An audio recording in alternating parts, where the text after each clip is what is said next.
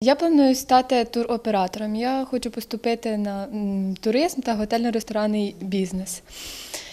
Ем, Також ну, мені це подобається і, на мою думку, у цій роботі є велика перспектива. Я, напевно, віддам пріоритетність е, Львівському національному університету Івана Франка. Мене приваблює юриспруденція, тому я хочу вступити в Одеську юридичну академію.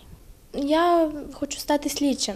Хочу вступити в медиці... ну, медицинський вуз е, на Дону. Надаю пріоритет ніби як е, Буковинському університету. Професія медика не втрачає ані популярності, ані попиту на ринку праці. Про це свідчить принаймні вступна кампанія у медичні освітні заклади. На Хмельниччині два медучилища і два медичних коледжі. Попри розмови про недоцільність утримання на державному балансі стількох освітніх закладів, де готують середній медичний персонал, набір на навчання тут не зменшується.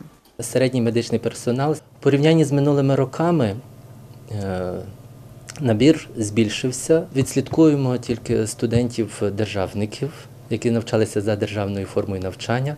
Е, І протягом е, останніх кількох років е, 100% не всі працевлаштовані або продовжують навчання в вищих навчальних закладах. Ми тісно співпрацюємо з департаментом охорони здоров'я, і коли відбувається розподіл студентів кожного е, року під час закінчення навчання, е, до нас приїздять гості з департаменту і пропонують їм так само робочі місця в тих районах, де є потреба в кадрах.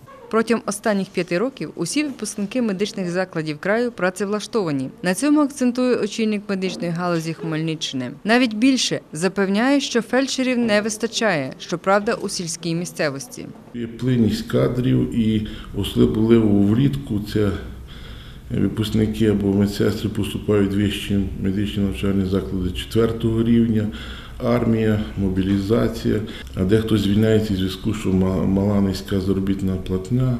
І тому виникає потреба саме в сільських районах, в селах, на ФАПах, віддалених селах. Тому ми е, навіть набираємо трошки більше. В час е, реформ, оптимізації ліжкового фонду ми плануємо.